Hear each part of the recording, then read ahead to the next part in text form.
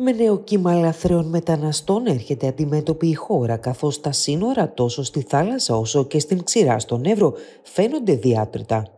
Στον Εύρο ακόμη 30 λαθρέοι μετανάστες βρέθηκαν χωρίς να τους αντιληφθεί κανείς κοντά στην Αλεξανδρούπολη, αφού πρώτα διέσχισαν το ποτάμι ανενόχλητοι. Μάλιστα την παρουσία τους ανακοίνωσε Μίκιο, η οποία αναφέρει ότι ήρθε σε επαφή με τους 30 μουσουλμάνους αλλοδαπούς, οι οποίοι ειδοποίησαν ότι έφτασαν στην περιοχή. Εάν οι μουσουλμάνοι αλλοδαποί επιχειρήσουν να μετακινηθούν με κάποιο όχημα και εντοπιστούν, τότε απλώς θα συλληφθεί ο οδηγός. Εάν κατευθυνθούν πεζοί σε οποιοδήποτε σημείο, δεν θα τους ενοχλήσει κανείς. Η διακατάσταση και στη θάλασσα.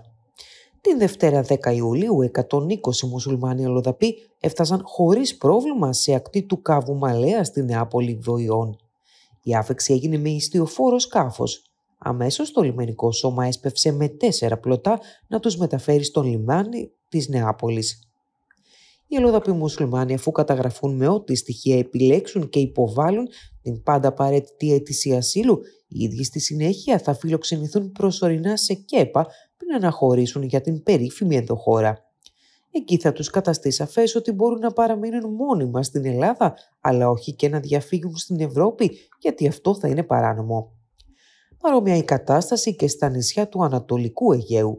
Από την 1η έως τις 6 Ιουλίου στη Λέσβο έφτασαν 225 μουσουλμάνοι, στην ΚΟ 47, στην Ρόδο 34, στην Σάμο 21, στην Πάτμο 22, στην Χίο 2 και στην Λέρο 2.